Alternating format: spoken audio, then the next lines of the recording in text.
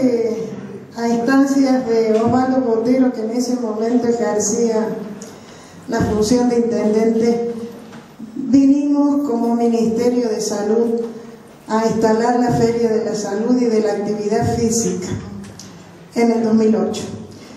Fue la segunda de la feria, la primera fue la de la calera. Pero a pesar de eso, que han pasado tantos años, la recordamos permanentemente por dos motivos. Por cómo germinó la semilla de todos esos programas que veníamos a exponer, siendo nuevitos en esta experiencia nosotros, y por una tormenta de viento que se levantó en la tarde y que la carpa que habíamos montado frente a la, a la, plaza principal nos volaba nuestros afiches y a pesar de eso llegamos al final. Con una gran satisfacción estamos hoy acá porque a partir de, de aquel acontecimiento teniendo a alguien como quien habló y explicó tanto y con tantos detalles recién involucró a tanta gente, pudimos llegar a este final. Hablo de Mercedes, quien tomó en ese momento cada una de las iniciativas que los programas de prevención exponían en esa feria y comenzó a trabajar y repitió la feria sin necesidad que estuviese el ministerio detrás, siempre informando y siempre recibiendo el apoyo desde allá.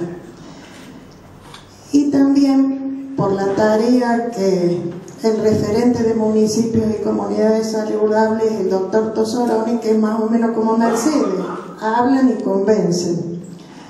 Y con el programa de tabaquismo que Mercedes ya mencionó también, a quienes se dedicaron a recorrer y a instalar la idea de cuán saludable es la vida si nosotros suprimimos algunos tóxicos en el ambiente la Dirección de Enfermedades Crónicas No Transmisibles promocionando aquello de menos sal, más vida y que tuvieron tanta respuesta en este lugar y le digo que se tienen que sentir orgullosos porque casi son los primeros y mejores alumnos